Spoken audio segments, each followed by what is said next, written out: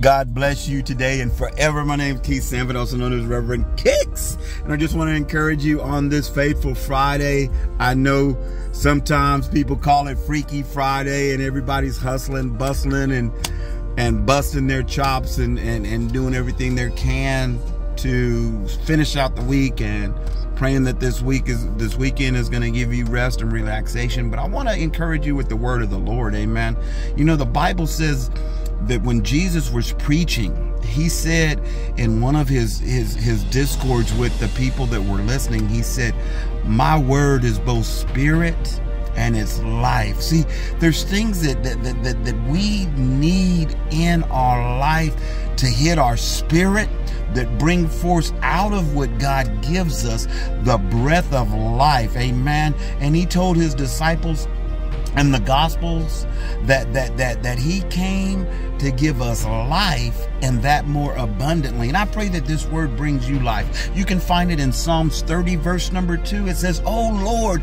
i cried to you and you healed me. Hallelujah.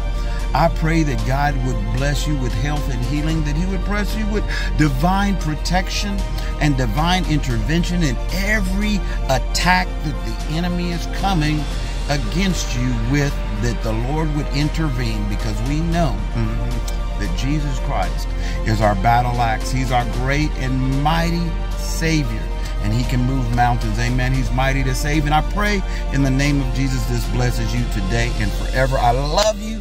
Looking forward to see you soon. God bless you. In Jesus' name. Bye bye.